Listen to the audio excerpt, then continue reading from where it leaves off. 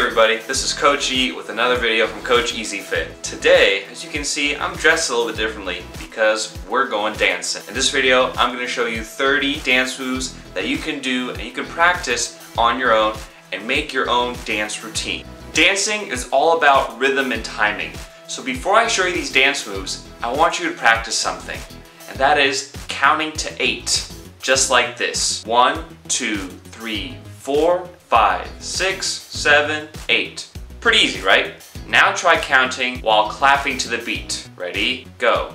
One, two, three, four, five, six, seven, eight. Very good. So now when you listen to the music and you see these dance moves, make sure you keep that count in mind and you'll see that every dance move I do, I do it for eight beats. So without further ado, let's get started.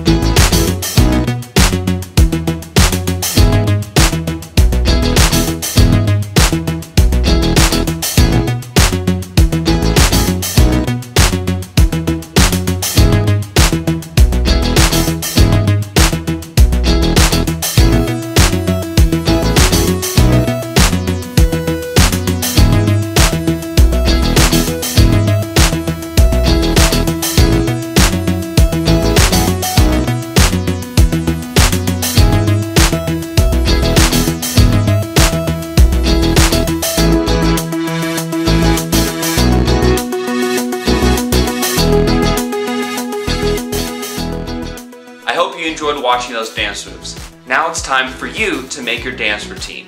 When you make your dance routine, I want you to use five of the moves that you just saw, or you can use some of your own moves that you created yourself. I also want you to challenge yourself and use at least one of the hard moves that I showed you. I want you to use the song that I used, and you can find that song in the link in the description below. So download it, use it, practice your dance moves, and I want to see what you came up with. And the most important thing when you do your dance routine is make sure you have fun. Thank you for watching this video from Coach EzFit, and I hope to see you next time.